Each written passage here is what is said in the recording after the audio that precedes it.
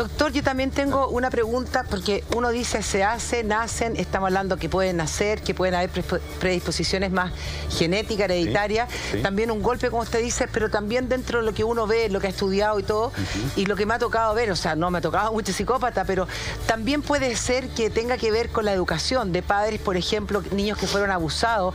Hay una película que lo refleja perfectamente, que es Perfume de Mujer, donde la madre no se vincula en ningún momento con el embarazo, donde no hay un apego, donde no hay una caricia y finalmente termina sacando esta guagua tirando en una canasta, donde ahí se comprueba una vez más que no hay apego y que finalmente esta persona al no tener apego, al no tener eh, cariño, contención, eh, se vuelve psicópata sin sentimientos porque tiene que desplegar a nivel inconsciente tantos mecanismos de defensa que no es capaz de ver un otro. Por supuesto, porque lo que uno aprende, uno tiene que aprender dentro de cualquier sociedad qué está bien y qué está mal. Hay cosas muy aberrantes que hacían, se hacían en otras sociedades, pero que era normal.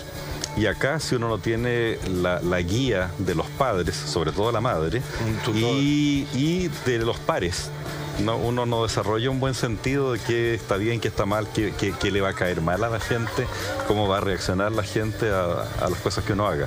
Así que es un, es un juego de la genética y el desarrollo por una parte, y por otro lado el ambiente en el cual uno crece y se desarrolla. El contexto donde se desarrolla.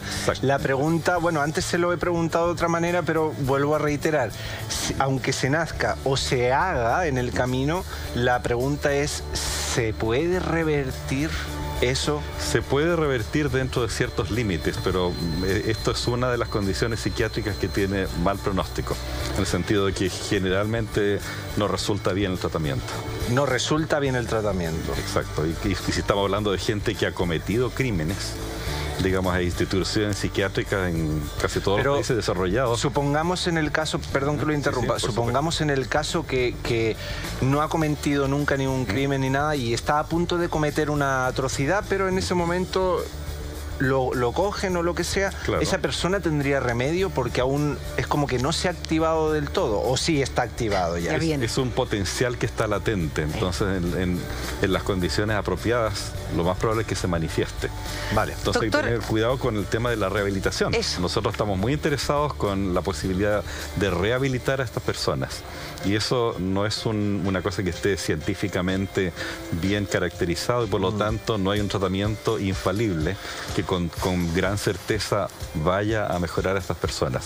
Hay que entenderlo, pero las sociedades deben protegerse de estas personas para que no vuelvan a reincidir. Porque no tienen conciencia, si es, lo es como que no tuviesen juicio de la realidad, que no es este caso, pero Viven no tienen su otra realidad. Vuelven a salir y vuelven a